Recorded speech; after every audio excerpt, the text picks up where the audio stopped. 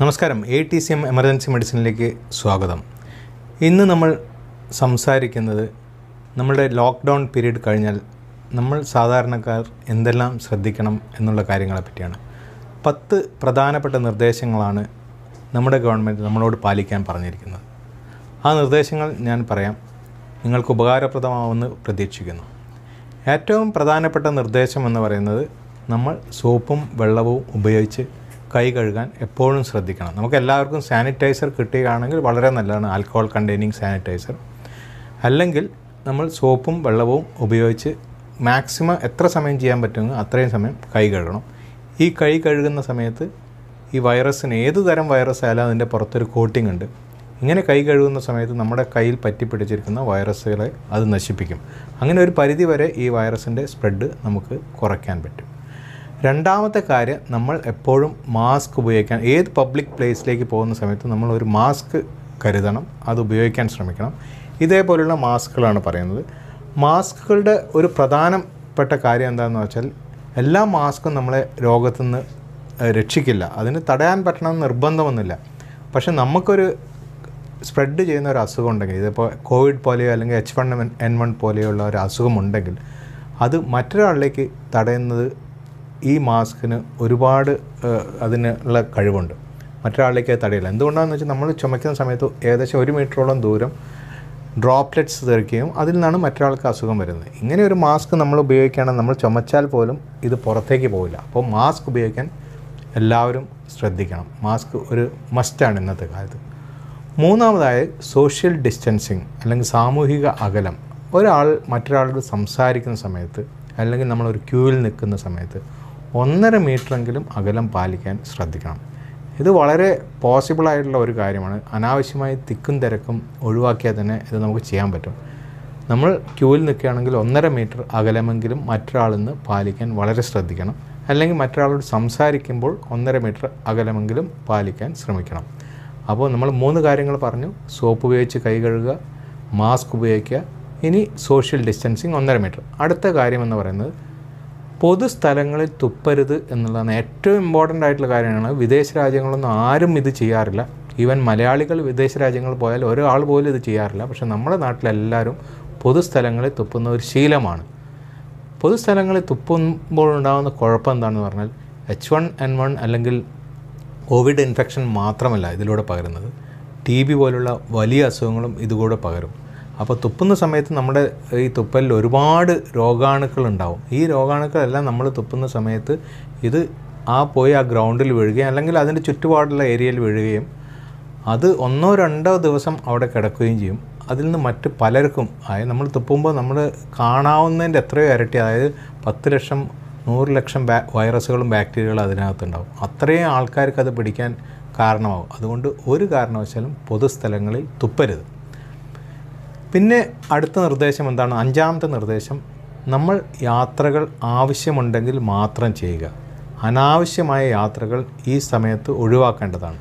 യാത്ര ചെയ്യുമ്പോൾ അതൊരു ഫ്ലൈറ്റിലാണെങ്കിലും ബസ്സിലാണെങ്കിലും കാറിലാണെങ്കിലും ഇതൊരു ക്ലോസ്ഡ് എൻവയോൺമെന്റ് ആണ്. ആ ക്ലോസ്ഡ് എൻവയോൺമെന്റിലെ എയർ സർക്കുലേഷൻ അതിനകത്ത് മാത്രമായിരിക്കും. അപ്പോൾ ഒരു നൂറ് ആൾക്കാരുള്ള ഒരു ഫ്ലൈറ്റിൽ ഒരാൾക്ക് അസുഖം ഉണ്ടെങ്കിൽ നൂറാൾക്കും ആ അസുഖം വരാനുള്ള ചാൻസ് ഉണ്ട്. ചാൻസ് മാത്രമാണ്. എല്ലാവർക്കും ഉണ്ടാവണമെന്നില്ല. അതുകൊണ്ട് കഴിയുന്നത്ര നമുക്ക് ആവശ്യമില്ലെങ്കിൽ യാത്ര അറ്റ്ലീസ്റ്റ് അടുത്ത ഒരു ആറ് മാസത്തേക്കെങ്കിലും നമ്മൾ ഒഴിവാക്കണം.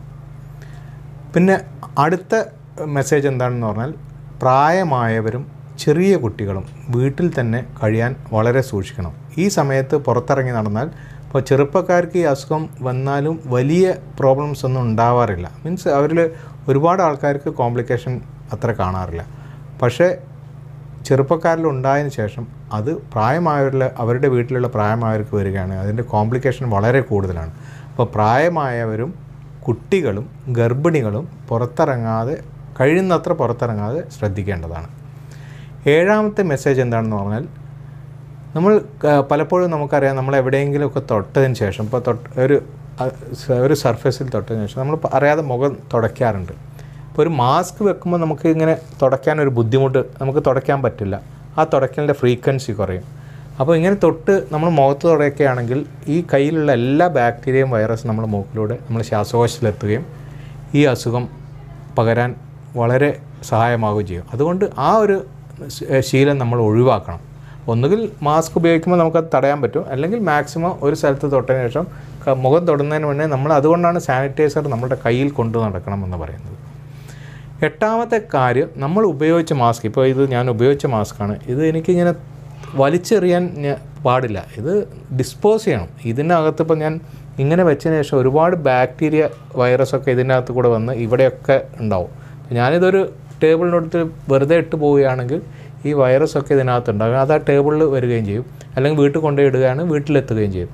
അപ്പോൾ അതൊരു റിസ്കി കാര്യമാണ്. ഒന്നുകിൽ ഇതൊരു നമ്മൾ റീയൂസ് ചെയ്യാൻ പറ്റുന്ന മാസ്ക് ആണെങ്കിൽ നമ്മൾ ഉടനെ തന്നെ സോപ്പ് വെള്ളത്തിലിട്ട് നല്ലപോലെ കഴുകിയ ശേഷം വെയിലത്തിട്ട് പിന്നെ ഉപയോഗിക്കാം. ഡിസ്പോസിബിൾ ആണെങ്കിൽ ഒന്നുകിൽ കത്തിച്ച് കളയുക. അല്ലെങ്കിൽ ഹോസ്പിറ്റലാണെങ്കിൽ നമുക്ക് ഇൻസിൻറേറ്റർ പോലുള്ള കാര്യങ്ങളുണ്ട്. അങ്ങനെ എന്തെങ്കിലും ചെയ്ത് അത് ഒഴിവാക്കണം. അത് വളരെ ഇമ്പോർട്ടന്റ് ആണ്. ഒമ്പതാമത്തെ കാര്യം എന്ന് പറയുന്നത് നമ്മളിപ്പോൾ പലരും വീട്ടിൽ ഇരിക്കുകയാണ്. ആരോഗ്യത്തിന്റെ കാര്യത്തിൽ പലരും ശ്രദ്ധിക്കാറില്ല. അപ്പോൾ നമ്മൾ എന്തെങ്കിലുമൊക്കെ ഭക്ഷണം കഴിച്ചുകൊണ്ട് കാര്യമില്ല വെറുതെ കിടന്ന് റെസ്റ്റ് എടുത്തുകൊണ്ട് കാര്യമില്ല. നല്ല എക്സസൈസ് ചെയ്യുകയാണെങ്കിൽ നമ്മുടെ പ്രതിരോധ ശക്തി വളരെ കൂടും. അപ്പോൾ ഈ സമയത്ത് നമ്മൾ നല്ലപോലെ എക്സസൈസ് എല്ലാം ചെയ്തു പ്രതിരോധ ശക്തി കൂട്ടുക നല്ല ഭക്ഷണം കഴിക്കുക. നല്ല ഭക്ഷണം എപ്പോഴും പോസിബിൾ അല്ല പലതും കിട്ടാനില്ല. എന്നാൽ പോലും ഫ്രൂട്ട്സ് കഴിക്കുകയാണെങ്കിൽ സാധാരണ വീട്ടിൽ കിട്ടുന്ന പച്ചക്കറികളും ഫ്രൂട്ട്സും കഴിക്കുകയാണെങ്കിൽ അതിന് നമ്മുടെ പ്രതിരോധ ശക്തി കൂടും. പക്ഷേ ഏറ്റവും എളുപ്പത്തിൽ ചെയ്യാവുന്ന ഒരു കാര്യമാണ് നമ്മൾ ഒരു മുപ്പത് മിനിറ്റെങ്കിലും നടന്ന് നമ്മുടെ പ്രതിരോധ ശക്തി കൂട്ടുക എന്ന് പറയുന്നത്. അത് വളരെ സിമ്പിളായിട്ടുള്ള കാര്യം ആർക്കും ചെയ്യാം. അതിന് അത്രയും ചിലവൊന്നുമില്ല. അപ്പം ഭക്ഷണം പല അഡ്വൈസ് ചെയ്യുന്ന ഭക്ഷണം എല്ലാവർക്കും കഴിക്കാൻ പറ്റണമെന്നില്ല. ഫ്രൂട്ട്സ് ഒന്നും നമുക്ക് കിട്ടണം നിർബന്ധമൊന്നുമില്ല. പക്ഷെ നടക്കാൻ ആരുടെയും പെർമിഷൻ വേണ്ട ആരുടെയും സഹായം വേണ്ട. ഏറ്റവും എളുപ്പത്തിൽ ഇമ്മ്യൂണിറ്റി കൂട്ടാനുള്ള ഒരു വഴിയാണ് നടത്തം. ഒരുപാട് റിസർച്ച് ഈ മേഖലയിൽ നടത്തിയിട്ടുണ്ട്. പല വൈറൽ ഇൻഫെക്ഷൻസ് പോലും സ്ഥിരമായി നടക്കുന്നവർക്ക് വരാറില്ല. അപ്പോൾ നടക്കാൻ വളരെ ശ്രദ്ധിക്കുക ആരോഗ്യം മെയിന്റെയിൻ ചെയ്യാൻ ശ്രദ്ധിക്കുക. പത്താമത്തെ കാര്യം നമ്മൾ ഇപ്പോൾ അഥവാ ഇതൊന്നും പാലിക്കാൻ നമുക്ക് പറ്റില്ല നമ്മുടെ കയ്യിൽ അത്യാവശ്യം ഒരു മാസ്ക് പോലില്ല. നമുക്ക് തുമ്മലോ ചുമയോ വന്നാൽ അറ്റ്ലീസ്റ്റ് നമ്മുടെ കയ്യിലുള്ള കർച്ചീഫോ അല്ലെങ്കിൽ കൈകൊണ്ടോ പൊത്തിയതിന് ശേഷം മാത്രം തുമ്മുക. അങ്ങനെയാണെങ്കിൽ നമ്മൾ തുമ്മുന്നത് ചുമക്കുന്നത് പുറത്തേക്ക് പോയില്ല മാസ്കാണ് ഏറ്റവും ഇമ്പോർട്ടന്റ് അതില്ലെങ്കിൽ മാത്രമാണ് നമ്മൾ പൊത്തിയോ കൈകൊണ്ട് പൊത്തിയോ അല്ലെങ്കിൽ കർച്ചീഫ് എടുത്തോ ചുമയ്ക്കണം എന്ന് പറയുന്നത്. അപ്പോൾ ഈ പത്ത് നിർദ്ദേശങ്ങൾ നമ്മൾ നിർബന്ധമായും പാലിക്കണം. നമ്മുടെ ഗവൺമെന്റ് നമുക്ക് വേണ്ടി പറഞ്ഞിട്ടുള്ള പത്ത് നിർദ്ദേശങ്ങളാണ്. ഇത് പാലിക്കുകയാണെങ്കിൽ നമുക്കൊരു പരിധി വരെ കോവിഡ് നയന്റീൻ അല്ല എത്ര വലിയ ഇൻഫെക്ഷൻ ആണെങ്കിലും നമുക്ക് തടയാൻ പറ്റും. താങ്ക്